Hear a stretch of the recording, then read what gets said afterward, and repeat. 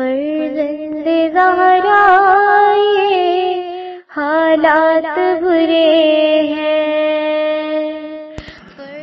کاشانہ بصیرت، ایک ایسا مکمل یوٹیوب چینل جس پر محروم بصارت کے لیے بالخصوص اور تمام افراد کے لیے بالعموم سینکڑوں کی تعداد میں اسلامی کتب دستیاب ہیں۔ لہذا گزارش ہے کہ آپ اپنی ذمہ داری نبھاتے ہوئے کاشانہ بصیرت کو سبسکرائب کرنے کے ساتھ ساتھ بیل آئیکن کو پریس کیجیے تاکہ آپ علم کے حصول کے ساتھ ساتھ مذہب اہل بیت کی اشاعت میں بھی اہم کردار ادا کرتے رہیں۔ کاشانہ بصیرت کاشانہ بصیرت کاشانہ بصیرت۔ فرزند زہرا یہ حالات برے ہیں۔ بسم اللہ الرحمن الرحیم، السلام علیکم سامعین۔ کاشانہ بصیرت کے یوٹیوب چینل پر ہم کتاب پڑھ رہے ہیں۔ ڈھائی سو سالہ انسان جل سوم۔ مولف آیت اللہ العظمہ ناس سید علی خامنائی، مترجم سید کوثر عباس موسوی۔ اس میں تاریخ امامت کے چار ادوار کا ذکر ہے۔ دو ادوار ہم نے تفصیل سے پڑھ لیے پچھلی نشستوں میں اور اب ہم تیسرے دور میں داخل ہو چکے ہیں۔ ریڈنگ کے پارٹ ففٹی ٹو میں۔ ہم آپ کو خوش آمدید کہتے ہیں اور کتاب کے صفحہ نمبر فور ففٹی سیون پہ ریڈنگ کا آغاز کریں گے، جہاں پر عنوان ہے، ڈھائی سو سالہ انسان کی زندگی میں حسنین علیہم السلام کا کردار۔ آئیے، یہ جو اس موضوع کے اوپر کل بائیس صفحات پر مشتمل یہاں پر تحریر ہے۔ تو امید ہے کہ ہم اس کو تین نشستوں میں مکمل کر لیں گے۔ آئیے آغاز کرتے ہیں۔ لکھا ہے، امام حسن مشتبہ علیہ السلام وہ ہستی ہیں جنہیں اپنے زمانے میں ایسے حالات درپیش آئے کہ کسی اور امام کو ایسے حالات پیش نہیں آئے۔ پیغمبر اکرم صلی اللہ علیہ وآلہ وسلم اور امیر المومنین علیہ السلام کو اپنی تمام تر مشکلات اور پریشانیوں کے باوجود اسی طرح باقی آئمہ اہل بیت علیہ السلام کو بھی ان پر ڈھائے جانے والے مظالم کے باوجود امام حسن مشتبہ علیہ السلام کے جیسے حالات کا سامنا کرنا نہیں پڑا۔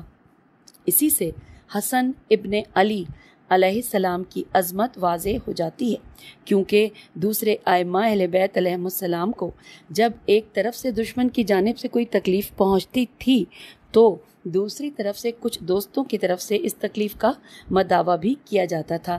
اگر دشمن کی طرف سے انہیں اذیت پہنچائی جاتی تھی تو کچھ دوست احباب ایسے بھی تھے کہ جو ان ہستیوں کی قدر و منزلت کو سمجھتے تھے۔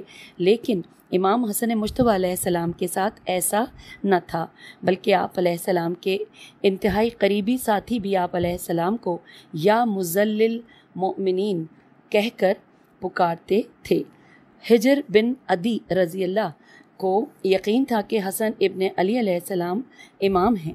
آپ علیہ السلام کی امامت پر انہیں کوئی شک نہیں تھا، لیکن پھر بھی وہ امام علیہ السلام کی پالیسیوں کو غلط سمجھتا تھا اور کہتا تھا کہ آپ کی پالیسیوں کی وجہ سے مومنین کو ذلت اور رسوائی کا سامنا کرنا پڑا ہے۔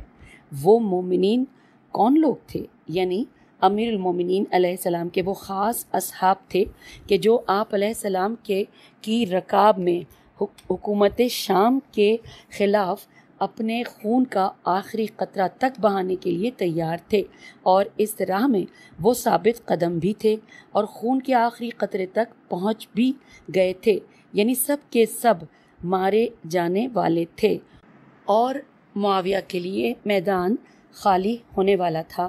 اور وہ بغیر کسی رکاوٹ کے حکومت کرنے والا تھا اور امام حسن مشتبہ علیہ السلام اس حقیقت کو جانتے تھے۔ حقیقت میں امام حسن مشتبہ علیہ السلام کے زمانے کے حالات خود امیر المومنین علیہ السلام کے دور کے حالات کا لازمی نتیجہ تھے۔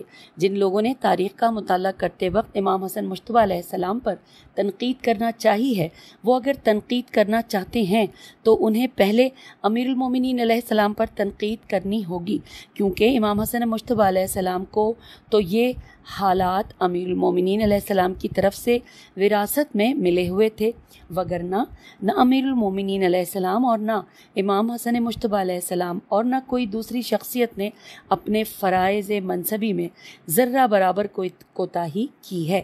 اس موقع پر میں چند جملوں میں امام حسن مشتبہ علیہ السلام کی شخصیت کے اس پہلو اور زاویے کی وضاحت کروں۔ چونکہ ممکن ہے کہ تحریکوں اور بغاوتوں کے زمانے میں جب لوگ شہادت کو اپنے سینے سے لگانا چاہتے تھے، امام حسن علیہ السلام کے حالات کا پتہ نہ چلا ہو۔ اتفاقاً تاریخ اسلام کے ہر دور میں امام حسن مشتبہ علیہ السلام کے کردار کی جگہ کو خالی رکھنا ضروری ہے، کیونکہ کبھی بھی ایسے حالات پیش آ سکتے ہیں۔ اور عظیم انسان وہ ہے جو ایسے حسنی شرائط پیش آنے کی صورت میں امام حسن علیہ السلام کی سیرت پر عمل کرے۔ اور اگر اس نے ایسا نہ کیا تو نہ وہ حسینی ہے اور نہ علوی ہے۔ امام حسن علیہ السلام کی سیاست بالکل وہی تھی جو امیر المومنین علیہ السلام کی تھی اور آپ علیہ السلام کے پاس طاقت بھی علی علیہ السلام والی تھی۔ امام حسن علیہ السلام ایک جنگجو کے بیٹے ہیں، لہٰذا کوئی یہ خیال نہ کرے کہ امام حسن علیہ السلام جیسا کہ بعض افسانوں اور جھوٹی کہانیوں میں جس طرح آپ علیہ السلام کو ایک ناز پرور عیش و عشرت کا شوقین اور اسی طرح کھانے پینے، پہننے اور سونے کا شوقین بنا کر پیش کیا ہے۔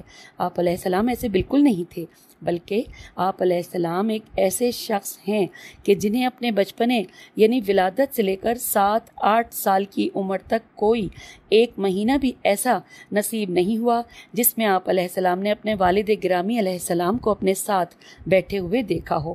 یعنی آپ علیہ السلام کے والد بزرگوار مسلسل جنگوں میں مصروف رہتے تھے۔ ہم نے یہ دیکھا ہے کہ شہنشاہی نظام کے خلاف جد و جہد کے دوران جس گھرانے کا کوئی مرد جد و جہد میں مشغول رہا ہے، اس گھرانے کے بچے عام گھرانوں کے بچوں کے مقابلے میں تھوڑے زیادہ نمایاں دکھائی دیتے ہیں۔ حسن علیہ السلام جس گھرانے میں پیدا ہوئے تھے، ان کا باپ علی علیہ السلام، ان کے باپ علی علیہ السلام تھے۔ اور اس گھرانے کی ماں وہ تھیں کہ جو ہمیشہ محراب عبادت میدان جنگ اور دوسرے مختلف میدانوں میں حاضر رہی تھیں۔ امام حسن مشتبہ علیہ السلام نے ایک ایسے گھرانے میں پرورش پائی تھی۔ یعنی آپ کا بچپنا شیر خوارگی اور لڑکپن کا زمانہ یہاں گزرا تھا۔ آپ علیہ السلام کے نانا پیغمبر اکرم صلی اللہ علیہ وآلہ وسلم تھے اور آپ علیہ السلام کے کھیل کود کی جگہ اور گھر کا صحن مسجد نبوی صلی اللہ علیہ وآلہ وسلم تھی۔ یہ وہ جگہ تھی جہاں سے آپ صلی اللہ علیہ وآلہ وسلم چند دنوں میں ایک لشکر کسی طرف روانہ کیا کرتے تھے یعنی آپ علیہ السلام جنگ اور جہاد فی سبیل اللہ کے پرورش یافتہ تھے۔ آپ علیہ السلام نے جوانی کے عالم میں مملکت اسلامی میں پیش آنے والی جنگوں اور فتوحات اور بڑے بڑے غزوات میں حصہ بھی لیا تھا۔ آپ علیہ السلام مختلف فیصلوں، بالخصوص امیر المومنین امام علی علیہ السلام کے دور خلافت کے موقع پر اپنا کلیدی کردار ادا کرتے رہے ہیں۔ اسی طرح حضرت عثمان کے گھر کے محاصرے کے موقع پر جب امیر المومنین علیہ السلام کی یہ کوشش تھی کہ کوئی ایسا ناخوشگوار واقعہ رونما نہ ہو امام حسن مشتبہ علیہ السلام نے آگے بڑھ کر اس واقعے میں اپنا بھرپور کردار ادا کیا جو انتہائی اہمیت کا حامل تھا۔ اور اس کے بعد جب امیر المومنین علیہ السلام منصب خلافت پر فائز ہوئے تو اس موقع پر بھی آپ علیہ السلام نے اپنا بھرپور اور فعال کردار ادا کیا۔ پھر لکھا ہے کہ آپ علیہ السلام مختلف جنگوں جیسے جنگ جمل، صفین اور نہروان میں اپنے والد بزرگوار کے ہمراہ پیش پیش تھے۔ نیکسٹ پیراگراف میں ہے کہ امام حسن مشتبہ علیہ السلام ایک جنگ شناس، عسکری امور کے ماہر اور مرد سیاست تھے، مرد سیاست تھے۔ لیکن آپ علیہ السلام کوئی ہیلا گر نہیں تھے۔ لوگ بھی تھکے ہوئے تھے عقل مند اور ہوشیار لوگ بھی بہت کم تھے۔ علوی مزاج کے مطابق لوگوں کی تربیت کا جتنا موقع ملنا چاہیے تھا نہیں ملا تھا۔ اس وقت جو لوگ امیر المومنین علیہ السلام کے ساتھ تھے، وہ لوگ تھے کہ جن کی پچھلی تیئیس برسوں پیغمبر اکرم صلی اللہ علیہ وآلہ وسلم کے دور میں تربیت ہو چکی تھی۔ ایسے لوگوں کو بچانا ضروری تھا، کیونکہ ان میں سے ہر ایک کو ایک ایسا بم بنایا جا سکتا تھا جو ظلم کے ان ایوانوں کو اگر اڑا نہ سکتا تھا تو کم از کم ہلا تو سکتا تھا۔ آپ علیہ السلام کا مد مقابل گروہ منافقین کا ہے۔ یعنی امام حسن مشتبہ علیہ السلام جس گروہ سے برسر پیکار تھے، وہ کوئی کھلم کھلا کافروں کا گروہ نہیں تھا۔ اگر آپ علیہ السلام کے مقابلے میں کھلم کھلا کافروں کا گروہ ہوتا، تو ان کے خلاف بیانیہ بنانا بہت آسان ہوتا، لیکن منافقین کا گروہ کسی بیانیے سے متاثر ہونے والا نہیں ہے۔ لہٰذا اس کے مقابلے میں کسی ایسے بیانیے کو پیش کر کے لوگوں کو اس کے گرد جمع کرنا اور اس کے ذریعے دشمن کو شکست دینا بہت مشکل ہے۔ اس لیے یہاں انتہائی ذرافت کے ساتھ آگے بڑھنے کی ضرورت ہے، کیونکہ معاویہ کسی بھی حد کی رعایت کرنے کے لیے تیار نہیں تھا۔ لہٰذا امام حسن مشتبہ علیہ السلام نے ایک دلیرانہ اقدام کیا یعنی ایک ایسا دلیرانہ اقدام جو بالکل خاموشی کے ساتھ طاقت کے کمال کی نشاندہی اور مستقبل سے امیدیں وابستہ کرتے ہوئے آنے والے وقت کے بارے میں فیصلے کرنے سے عبارت ہے۔ بالکل ایک ایسے فاتح کی طرح جو زانو کے بل مستحکم طور پر بیٹھا ہوا ہے اور کچھ کاغذی پہلوان انتہائی زور شور کے ساتھ چاروں طرف سے اس پر حملہ آور ہو جاتے ہیں۔ کوئی مکہ مارتا ہے، کوئی لات مارتا ہے تو کوئی کچھ مارتا ہے۔ اور وہ یہ سمجھتے ہیں کہ اس پہلوان کو نابود کر کے ختم کرنے والے ہیں، جبکہ وہ اپنی جگہ ویسا ہی کھڑا ہوا ہے۔ اگر آپ دور سے دیکھیں گے تو آپ بھی یہ سمجھ جائیں گے کہ اس کا کام تمام ہو گیا ہے، کیونکہ ہر طرف سے اس پر حملہ کیا جا رہا ہے اور جس کے ہاتھ میں جو چیز لگتی ہے وہ اسے دے مارتا ہے۔ لیکن اگر آپ قریب ہوتے ہیں تو دیکھتے ہیں کہ وہ پہلوان کس طرح اپنے ہاتھ کی کوہنی پاؤں کے انگوٹھے اور دوسرے آزائے بدن سے ان کاغذی پہلوانوں کو ایک ایک کر کے چت کر دیتا ہے اور تاریخ کے کوڑے دان میں ڈالتا ہے اور ان کا تشخص مٹا کر رکھ دیتا ہے، جبکہ وہ خود اپنی جگہ پر کھڑا رہتا ہے۔ امام حسن مشتبہ علیہ السلام بھی کھڑے رہے اور شام کے محلوں میں رہنے والے مر گئے۔ اور ختم ہو گئے۔ امام حسن مشتبہ علیہ السلام اپنے مد مقابل گروہ کو باطل ثابت کرنے میں کامیاب ہوئے۔ اسی طرح امام حسن مشتبہ علیہ السلام قرآن مجید کو کسی بھی قسم کی تحریف سے محفوظ رکھنے میں کامیاب ہوئے۔ نیز، امام حسن مشتبہ علیہ السلام، امیر المومنین امام علی علیہ السلام کے اس تابناک چہرے کو نہ صرف اس زمانے کی پوری دنیا بلکہ پوری تاریخ بشریت کے سامنے نمایاں طور پر پیش کرنے میں کامیاب ہوئے۔ یہ امام حسن مشتبہ علیہ السلام کے کارنامے تھے۔ سب سے بڑھ کر یہ کہ آپ علیہ السلام منافقین کو بے نقاب کرنے میں کامیاب ہوئے۔ منافق کے ساتھ کیسے لڑا جا سکتا ہے کیونکہ وہ کہتا ہے کہ میں حق پر ہوں، جبکہ وہ باطل پر ہوتا ہے۔ منافق کہتا ہے کہ میں ہی اسلام پر کاربند ہوں، جبکہ وہ کفر پر کاربند ہوتا ہے۔ منافق کہتا ہے کہ میں صحیح انقلابی ہوں، جبکہ وہ انقلاب مخالف ہوتا ہے۔ اسی کو تو منافق کہتے ہیں کہ جو کچھ آپ اسے کہتے ہیں، وہی سب کچھ وہ آپ سے بھی کہتا ہے۔ آپ اس سے کہتے ہیں کہ تم انقلاب مخالف ہو وہ کہتا ہے کہ تم انقلاب مخالف ہو۔ آپ کہتے ہیں کہ تم باطل پر ہو، وہ کہتا ہے کہ تم باطل پر ہو۔ پس ایسی صورت میں اسے شکست نہیں دی جا سکتی۔ لہٰذا اس کے لیے تھوڑی دیر کے لیے میدان کھلا رکھنا ضروری ہوتا ہے تاکہ وہ خود کو اس میں گم کر دے۔ اور جب وہ خود کو گم کر دیتا ہے تو بے نقاب ہو جاتا ہے اور واضح ہو جاتا ہے کہ وہ باطل پر ہے۔ امام حسن علیہ السلام نے شام کے محلوں میں بیٹھے ہوئے اپنے حریفوں کے ساتھ ذرا تاخیر سے ہی یہ کام کیا۔ آپ یعنی کہ قارئین اپنی نگاہوں کو بلند کیجیے، ایک، دو اور پانچ سال سے باہر آ جائیں۔ جس طرح امام حسن مشتبہ علیہ السلام باہر آ گئے تھے، جانیے اور جائیے اور دنیا کی تاریخ کو اس کے اصلی طول و عرض کے مطابق نگاہ کیجیے تو آپ دیکھیں گے کہ امام حسن مشتبہ علیہ السلام نے ممکنہ حد تک انتہائی حکمت سے کام لیا۔ کون شخص یہ اعتبار نہیں کر سکتا کہ قرآن مجید میں خال المومنین نام کی کوئی آیت موجود نہیں ہے؟ اگر امام حسن مشتبہ علیہ السلام اس راز کو بے نقاب نہ کرتے تو اسے کون جانتا تھا؟ کیا سو سال تک تمام راوی، قاری، خطبہ مذہبی رہنما اور حکام علی ابن علی ابن علی ابن علی ابی طالب علیہ السلام کو ایک انقلاب مخالف عنصر کے طور پر پیش کرتے ہوئے نمازوں میں آپ علیہ السلام پر لانت بھیجنا اپنی ذمہ داری نہیں سمجھتے تھے۔ عام لوگ تو غیر جانبدار ہوتے ہیں۔ انہیں امیر المومنین علیہ السلام سے کوئی دشمنی یا عداوت نہیں تھی۔ تو پھر وہ کیوں آپ علیہ السلام پر لانت بھیجتے تھے؟ جس گمراہی کی حالت میں بچے بوڑھے ہو چکے تھے اور طویل عرصہ گزر چکا تھا، اس دوران اگر وہ قرآن کو بھی بدلنا چاہتے یا پیغمبر اکرم صلی اللہ علیہ وآلہ وسلم کی سنت کو بھی مکمل طور پر تبدیل کرنا چاہتے تو بڑی آسانی کے ساتھ وہ ایسا کر سکتے تھے۔ چند مشہور راویوں کو پیسوں کے ذریعے خریدتے، جیسا کہ انہوں نے اس طریقے سے بہت ساری لمبی چوڑی حدیثیں لکھوائی تھیں۔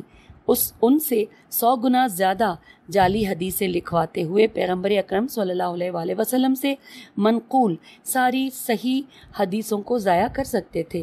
تو پھر انہیں ایسا کرنے سے کس نے روکا؟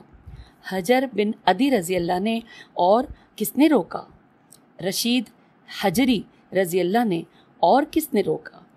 اس مجاہدہ عورت نے جو مملکت اسلامیہ کے کسی ایک کونے سے شام کے محل میں آئی ہوئی تھی اور اس محل میں بیٹھے ہوئے شہنشاہ کو بے نقاب کیا تھا اور کس نے روکا تھا؟ لوگوں کے ایک چھوٹے سے گروہ نے جو ان کی حقیقت کو سمجھ چکا تھا، ان سب نے مل کر اسے قرآن کو تبدیل کرنے سے روکا، خود مخالف فریق کو اس بات کا اندازہ ہی نہیں تھا کہ حجر رضی اللہ جیسے لوگوں کا کتنا اہم کردار ہے، لہٰذا وہ ان کی باتوں کو مذاق سمجھتا تھا۔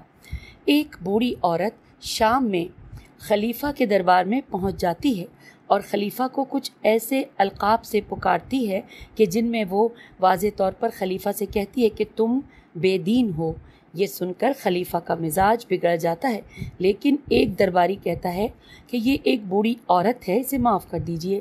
جس پر خلیفہ اس عورت کی باتوں کو نظر انداز کرتے ہوئے ہنستا ہے اور ایک انعام دیتے ہوئے اسے وہاں سے بھیج دیتا ہے۔ لیکن وہ اس بات کو سمجھنے سے قاصر ہے کہ اس عورت کی باتیں تو تاریخ میں محفوظ ہو گئی ہیں۔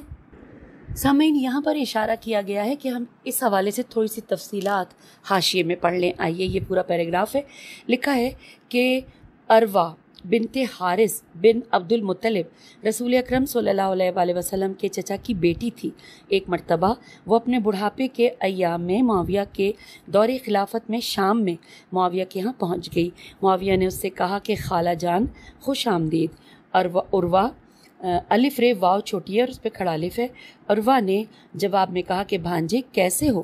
تو تو نے نعمت الہی کا کفران کیا اور اپنے چچا ذات کے لیے ایک برے ہم نشین ثابت ہوئے ہو، جس نام کے تم سزاوار نہ تھے۔ جس نام کے تم سزاوار نہ تھے، خود کو اس نام سے موسوم کیا ہے۔ جس چیز پر تمہاری، تمہارا کوئی حق نہیں تھا، تم نے اسے ہتھیا لیا ہے۔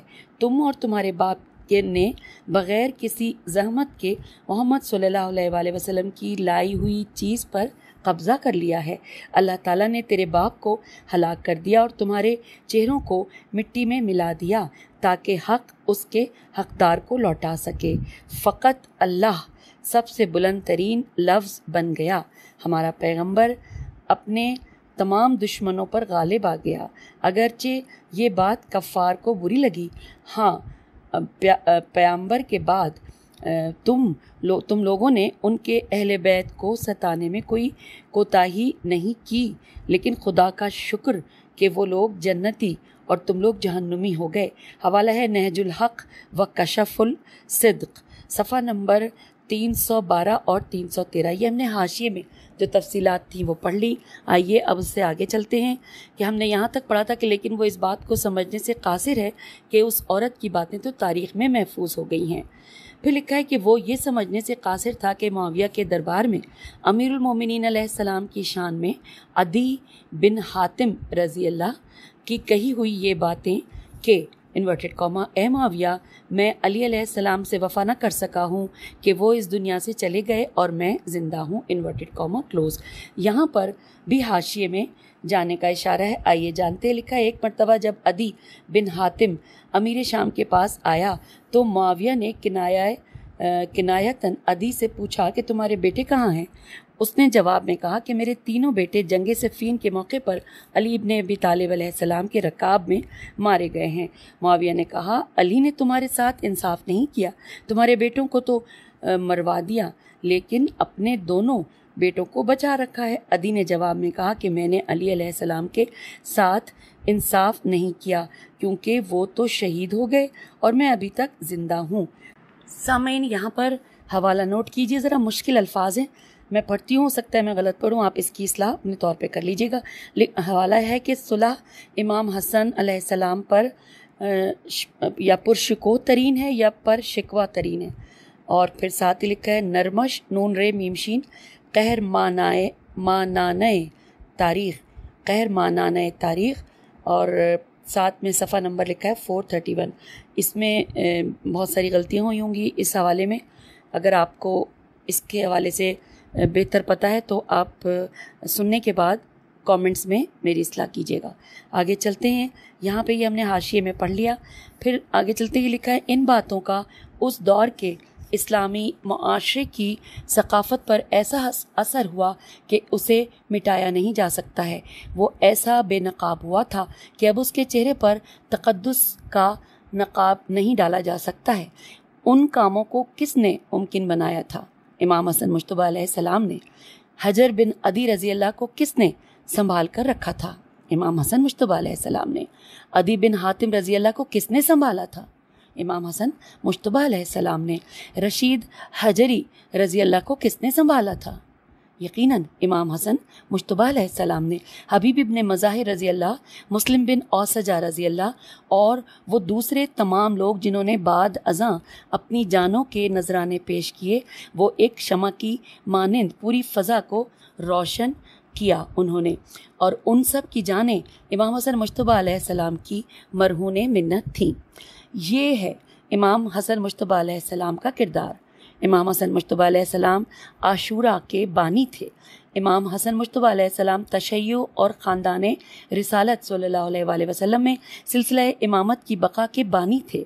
امام حسن مشتبہ علیہ السلام کا اسم مبارک بھی ایک انتہائی پیارا اور باعظمت نام ہے۔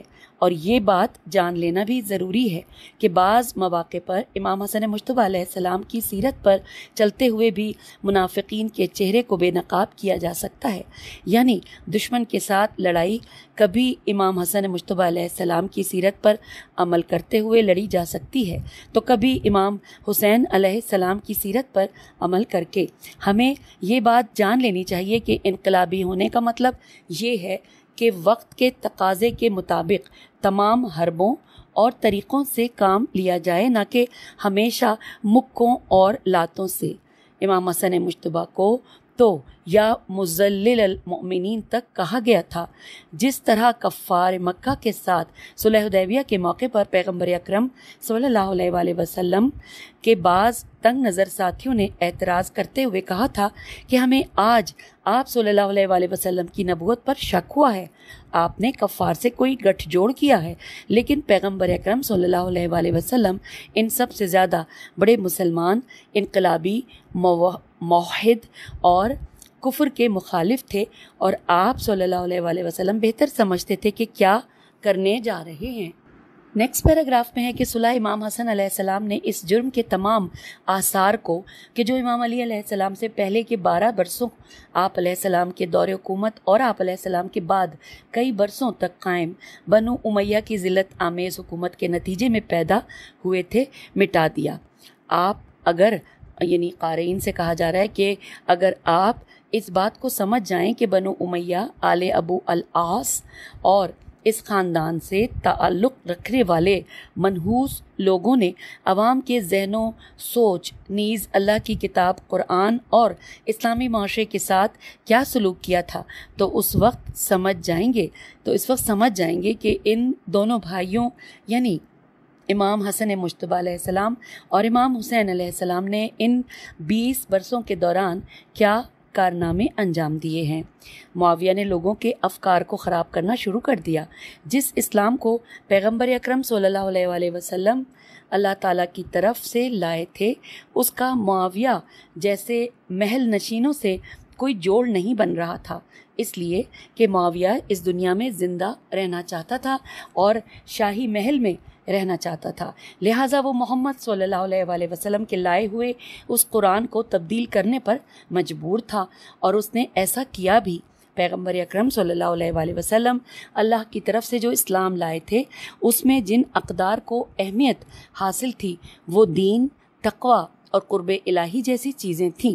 جبکہ معاویہ میں میں ان میں سے کوئی ایک صفت بھی نہیں پائی جاتی تھی، کیونکہ وہ نہ تو دین، نہ تقوی اور نہ ہی قرب الہی کا حامل تھا اور نہ کوئی صحیح عبادت کرتا تھا اور نہ ہی اپنے، اپنی ذمہ داریوں پر عمل پیرا تھا۔ لیکن ان تمام باتوں کے ساتھ ساتھ وہ لوگوں کی نظروں میں محبوب بھی بننا چاہتا تھا۔ ایسے میں اسے کیا کرنا چاہیے تھا؟ اسے دین کو تبدیل کرنا چاہیے تھا اور اس میں تحریف کر دینی چاہیے تھی۔ کیا وہ دین میں تحریف کا مرتکب نہیں ہوا؟ کیوں نہیں؟ معاویہ نے سب سے پہلا جو کام کیا وہ یہ تھا کہ اس نے اہل شام کے گرد ایک ایسا مستحکم حصار کھینچا کہ اس علاقے میں جہاں پر اس کی حکومت قائم تھی، وہاں بسنے والے لوگوں میں سے کسی ایک کو بھی حقیقی اسلام کا کوئی پیغام نہ پہنچنے پائے۔ لہٰذا اہل شام اسلام کے بارے میں کچھ نہیں جانتے تھے۔ صرف معاویہ کے زمانے میں ہی نہیں، بلکہ معاویہ کے مرنے کے اسی سال بعد بھی شام کے لوگ اسلام کی ابتدائی تعلیمات کے بارے میں کچھ نہیں جانتے تھے۔ جس وقت معاویہ کے مرنے کے اسی سال بعد بنو عباس نے بنو امیہ کا قلع قمع کرتے ہوئے شام کو فتح کیا، تو سرزمین شام سے تعلق رکھنے والے بہت سارے بزرگان ابو العباس صفاح داود بن علی اور بنو عباس کے دوسرے سرکردہ رہنماؤں کے پاس آئے اور قسم کھا کر کہا کہ جب تک آپ شام میں داخل نہیں ہوئے تھے، ہمیں معلوم ہی نہیں تھا کہ پیغمبر اکرم صلی اللہ علیہ وآلہ وسلم کا معاویہ اور بنو امیہ کے علاوہ بھی کوئی رشتہ دار اور عزیز و اقارب ہے۔ یعنی ہم بنو عباس کو نہیں جانتے تھے۔ علی علیہ السلام کو نہیں جانتے تھے اور آل علی علیہ السلام کو تو بالکل نہیں جانتے تھے۔ توجہ فرمائیے کہ یہ کتنی اہم بات ہے۔ معاویہ کے منفی پروپیگنڈوں کے نتیجے میں سرزمین شام جیسے علاقے میں بسنے والے لوگ اسلام کی بنیادی تعلیمات کو بھی نہیں جانتے تھے۔ یہ حدیث صلح امام حسن علیہ السلام، یہ کتاب کا نام ہے جو کہ انورٹڈ قوما میں ہے کہ یہ حدیث صلح امام حسن علیہ السلام نامی کتاب کے حاشیے پر بیان کی گئی ہے کہ شام سے تعلق رکھنے والے تین لوگ آپس میں گفتگو کر رہے تھے۔ ان میں سے ایک نے دوسرے سے پوچھا کہ امیر اپنے خطبے میں تعظیم کے ساتھ جس محمد کا نام لیتا ہے وہ کون ہے؟ کیا یہ اللہ نہیں ہے؟ کیا یہ ہمارا خدا نہیں ہے؟ یعنی انہیں اللہ اور پیغمبر میں فرق ہی نہیں پتا تھا۔ آج آپ دنیا کا کوئی ایسا گوشہ دکھائیں جہاں بسنے والے مسلمان چاہے کتنے ہی جاہل اور دیہاتی کیوں نہ ہوں۔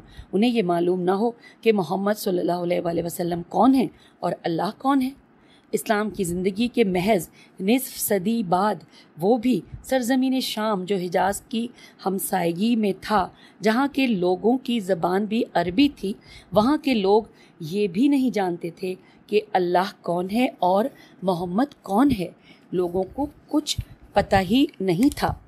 اب اگلے پیراگراف میں ہے کہ ایک شامی شخص نے اپنے کسی بزرگ سے پوچھا کہ یہ ابو تراب، جس کا نام لے کر امیر امیر ممبر پر سے لانت بھیجتا ہے، وہ کون ہے؟ تو لکھا ہے ابو تراب، یہ وہ کنیت ہے جسے بنو میہ نے امیر المومنین علیہ السلام کو دے رکھا تھا۔ وہ آپ علیہ السلام کو ابو الحسن علیہ السلام، امیر المومنین علیہ السلام یا علی نہیں کہتے تھے، بلکہ تحقیر کے طور پر ہمیشہ ابو تراب یعنی مٹی کے باپ جیسی کنیت سے پکارتے تھے۔ اس دوسرے شامی نے جواب میں کہا، واللہ، میں بھی نہیں جانتا ہوں کہ وہ کون ہے۔ میرا خیال ہے کہ وہ ان ڈاکوؤں کا سرغنا ہے جو شام کے اطراف کے پہاڑوں میں بستے ہیں۔ ناؤز باللہ۔ پھر لکھا ہے، یا یہ کہ داستان جو بہت زیادہ مشہور بھی ہے۔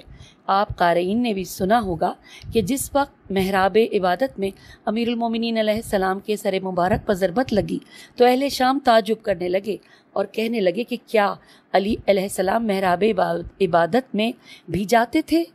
محراب میں کیا کر رہے تھے؟ وہ تو نماز بھی نہیں پڑھتے تھے۔ ناؤز باللہ۔ توجہ فرمائیے کہ پروپیگنڈا اس طرح لوگوں کی فکر اور سوچ پر اثر انداز ہوتا ہے اور یہ دین کے دشمنوں کا انتہائی آزمایا ہوا طریقہ کار ہے۔ وہ ہمیشہ ایسے چہروں کو کہ جو دین کو اس کی اصلی صورت میں لوگوں کے سامنے پیش کرنے کی صلاحیت رکھتے ہیں، لوگوں کی نظروں سے گراتے ہیں۔ وہ زبانیں جو لوگوں کو حقائق سے آگاہ کرنے کی صلاحیت رکھتی ہیں، انہیں بند کرتے ہیں اور انہیں لوگوں کے کانوں تک حقائق پہنچانے سے روکتے ہیں۔ مشہور اور باعظمت لوگوں کو بدنام کر دیتے ہیں۔ وہ لوگوں کو ان شخصیات کے قریب ہونے سے روکتے ہیں۔ علی علیہ السلام کون ہیں؟ علی علیہ السلام مجسم قرآن ہے۔ علی علیہ السلام مجسم اسلام ہے۔ ظاہر ہے کہ اگر شام والے علی علیہ السلام کو سمجھ جائیں، آپ علیہ السلام کی باتوں، آپ علیہ السلام کی تعلیمات اور آپ علیہ السلام کے نظریات سے آگاہ ہو جائیں، تو پھر معاویہ جیسے لوگوں کی حکومت کو کبھی قبول نہ کرتے۔